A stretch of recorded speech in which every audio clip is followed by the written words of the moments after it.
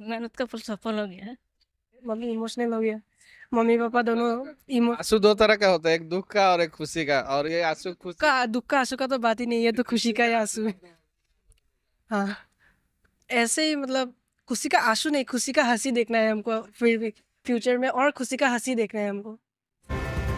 जैसे ही higher secondary का रिज़ल्ट घोषित किया गया काफ़ी चेहरे हैं जिनमें खुशी देखी जा रही है और खुशी इस वजह से देखी जा रही है कि जो साल भर का उनका मेहनत रहा है, उसका फल आज देखने को मिला है और ऐसे ही एक युवक है मेरे साथ उपस्थित जो यह दुकान है, उनके परिवार के साथ ही वो यह दुकान चलाते हैं सब्ज़ी की और काफ़ी मेहनत के बाद जो उनका रिज़ल्ट रहा है, काफ़ी संतोषजनक रहा है, काफ़ी बेहतर रिज़ल्ट रहा है और 92 परसेंट जो है मार्क उन्होंने पाने में सफलता हासिल की है और सुशांत देवनाथ है इस युवक का नाम इस छात्र का नाम और मैं सीधा उनके पास जाऊँगा और सबसे पहले तो उनको मैं बधाई देना चाहूँगा। बहुत बहुत बधाई आपको। थैंक यू सर सुशांत आपने जो पढ़ाई की है कहाँ से शुरुआत कहाँ से की? हम तो पहले घर से पढ़ाई करते थे उसके बाद पापा ने हमको आरडी में भेज दिया। आरडी में पढ़ते पढ़ते हम हॉस्टल में रहा। हॉस्टल से पढ़ाई किया। क्या उम्मीद कर रहे थे? जब परीक्षा आपने दिया था उस समय क्या उम्मीद कर रहे थे और जो रिज़ल्ट है इससे कितना संतुष्ट है? मतलब हमको उम्मीद ऐसा था कि हम मेरा जो मैट्रिक का रिज़ल्ट था उससे एटलीस्ट वन परसेंट इंक्रीज़ हो यही मैट्रिक में कितना था मैट्रिक में मेरा 87.16 परसेंट था। तो हमको मतलब 88 में ही हम खुश था लेकिन अभी जितना मिला उससे तो और खुश है हम। अभी 92 परसेंट हाँ एक एक रूटीन था मेरा मतलब हम सुबह को कभी कभी चार बजे कभी कभी पाँच बजे उठते थे। पाँच बजे से स्कूल था मेरा सेवन थर्टी से तो हम सेवन थर्टी के पहले तक सेवन तक स्टडी करते थे।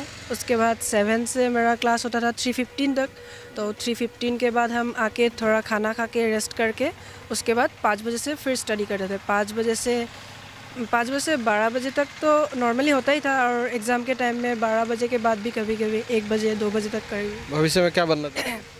अभी तो हम एंट्रेंस दे रहे हैं मतलब इंजीनियरिंग का भी एंट्रेंस दिया है और वहाँ पर क्वालिफाई भी किया है अभी रिज़ल्ट भी मिला है अभी जब काउंसलिंग हो उसके बाद पता चलेगा कौन सा कॉलेज मिलेगा। मेडिकल का भी एंट्रेंस दे रहे हैं हम उसका रिज़ल्ट नहीं दिया है अभी कौन सा कॉलेज मिलेगा वहीं पर? जो और जो छात्र छात्राएँ हैं जो बच्चे हैं उनको आप क्या मैसेज देना चाहेंगे? शिक्षा के लिए एक विशेष घर की आवश्यकता नहीं आप जैसे बच्चे साबित कर देते हैं और मैं मा- जिस तरह माँ बाप मेहनत करके आपको पढ़ाते हैं, आप उनके सपनों को पूरा करने में कोई भी कसर नहीं छोड़ते। तो कहना क्या चाहेंगे जो बच्चे हैं आज के युग तो मैं यही कहना चाहूँगा, जो मतलब थोड़ा मिडिल क्लास फैमिली से बिलोंग करते हैं, उन लोगों को, उन बच्चों को मतलब अपने अपने रिज़ल्ट से ही माँ बाप को खुशी करना पड़ेगा अभी। दूसरा तो कुछ कर नहीं सकते ना हम लोग। अभी तो ज़्यादा काम करके भी पढ़ाई भी नहीं होगा।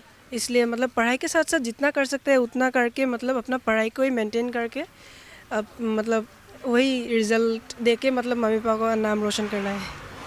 हर व्यक्ति के पीछे एक व्यक्ति का हाथ होता है और जो शिक्षक है उनकी भूमिका काफ़ी बड़ी रहती है जो छात्र छात्राओं के भविष्य के लिए।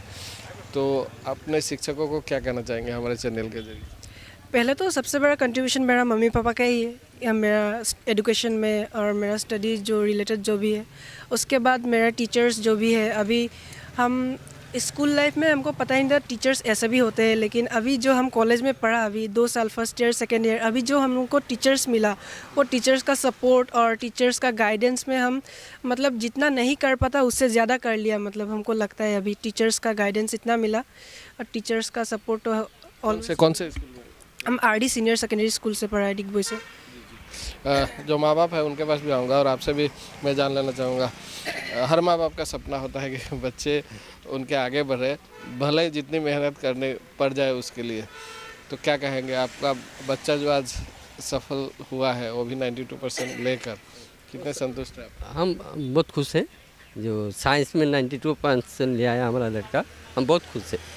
हम्म, इससे आगे बोलने का मतलब कुछ है ही नहीं हम हमारा सपना भी नहीं था जे, मैंने हम इतना आगे बढ़ेगा हमारा लड़का और आप बोलेगा, और भी आगे बढ़ो, बस हम उससे बहुत खुश हूँ। और उसका पीछे हमारा माँ का, भाई लोग का भाई बहुत, मैंने कंट्रीब्यूशन है। हम तो गुटे दिन में सुबह सुबह जा जाता है दुकान में, रात को जाते हैं, लेकिन उन लोग का पढ़ाई के लिए हमारा माँ, मोटामोटी सेवेंटी ईयर्स वो लोग पढ़ता है, नहीं पढ़ता है, उठाना, बैठाना, खाना, सब देखते थे। हम लोग दोनों मैंने हस्बैंड वाइफ दोनों दुकानें करता है। इसके बाद उसको जब हम लोग हाई सेकेंडरी में दिया हमको आर डी कॉलेज में पढ़ाना का हमारा क्षमता नहीं था लेकिन जब दिया तो उसका माँ का लिए थोड़ा मोटा पान का दुकान खुल दिया जो उनसे भी थोड़ा मदद मिले। तो उसी से उसका जो हम लोग खाटनी करता है उसका जो रिज़ल्ट दिया हम लोग खुश है। आपके पास भी आऊँगा क्या कहेंगे? हमको बहुत अच्छा लग रहा है इसमें। आप खुद मेहनत करती है इस तरह का दुकान चलाती है। मेहनत का फल कितना आपका बच्चा लेके आया है आपको लगता है? मेहनत का फल सफल हो गया। सफल हो गया आपका बेटा। क्या कहेंगे आपका मम्मी का हँसी निकल आया खुशी से? मम्मी ऐसे इतना मतलब बात बात नहीं कराया ऐसे ना मीडिया से कभी बात नहीं किया इसलिए मम्मी इमोशनल हो गया। मम्मी पापा दोनों इमोशनल आँसू दो तरह का होता है एक दुख का और एक खुशी का और ये आँसू खुश का दुख का आँसू का तो बात ही नहीं है तो खुशी का ही आँसू देखा है। हाँ।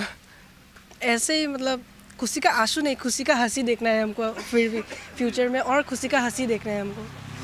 सरकार को रिक्वेस्ट करूँगा यदि कोई जगह में हम लटक जाते हैं सरकार जैसे हमको थोड़ा मदद करे।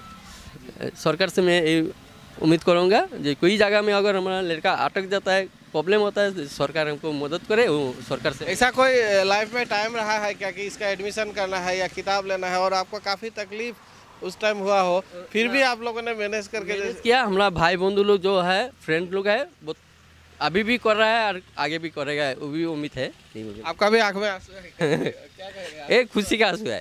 ए, क्यों आपका आँसू क्यों है? हमारा गाँव का गौरव है। हमारा बेटा है। के।